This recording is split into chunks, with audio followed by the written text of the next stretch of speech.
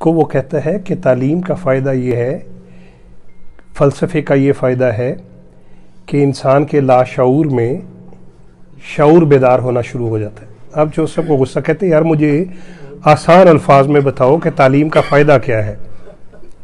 कहता अच्छा जोसफ, मैं बताता हूँ। आप ये मुझे बताएँ कि आपके घर में कुत्ता है? जोसफ कहते, जी है। कहते अच्छा तो आपके घर में मवेशी भी हैं भेड़ बकरियाँ भी हैं, गाय भी है जोसफ कहते, जी है। कहते अच्छा इसका मतलब ये हुआ कि आपका घर काफ़ी बड़ा है।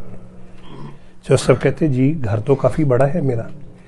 कहते, इसका मतलब है कि आप मालदार आदमी जैसा कहते, जी, मालदार तो हूँ। तो कहता है, इसका मतलब है कि आपकी ज़मीनें वगैरह भी हैं। जैसा कहते, ज़मीनें भी हैं।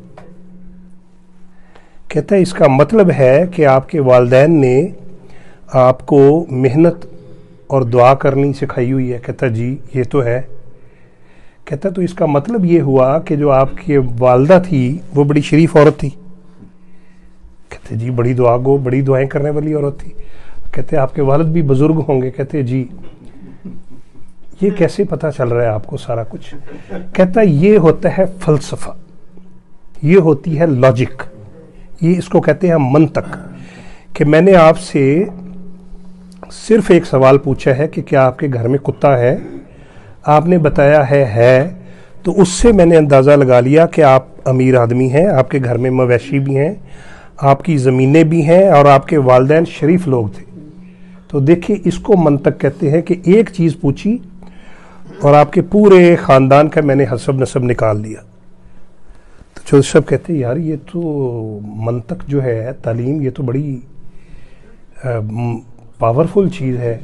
मुझे भी आनी चाहिए, लेकिन तुम 16 साल हो गए हैं तुम्हें सीखते हुए, मुझे तो थोड़ी देर में समझ आ गई है? तो अब चौधरी साहब ने अगले दिन कुर्ता पहना, गुस्सा पहना, गाँव में निकल गए कि किसी को मैं भी तालीम सिखाऊं। मंतक सिखाऊं। अब कोई काबू नहीं आ रहा था, जो सब घर वापस आ गए बड़े उदास। तो उनका जो मुलाजम था शरफू, वो उनकी टांगे दबाने लग पड़ा। जोसफ कहते, शरफू, कुछ तालीम हासिल कर लो तुम भी। कहते, जोसफ, तालीम का फ़ायदा क्या होगा? कहते, इससे तुम्हें मंतक आएगी। कहता, मंतक का क्या मतलब होता है, जोसफ? कहते आगही कहते, जी आगही का क्या मतलब है, जोसफ? कहता है, इससे आपके लाशूर में शऊर की खिड़कियाँ खुलेंगी। कहता चौधरी साहब, मैं पढ़िया लिखिया बंदा नहीं है, मैनू आसान लफ्जा दसो कहते अच्छा एक गल तो दस थोड़े घर कुत्ता है। वो कहता नहीं, चौधरी साहब।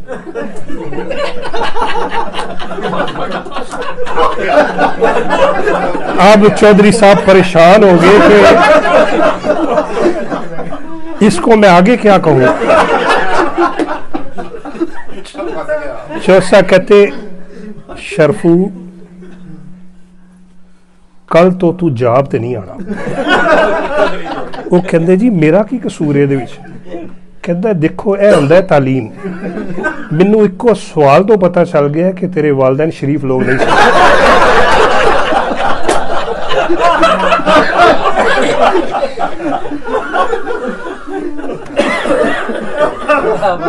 भारत ये लजीफा था। शनि आपका जजाक जजाकल्ला।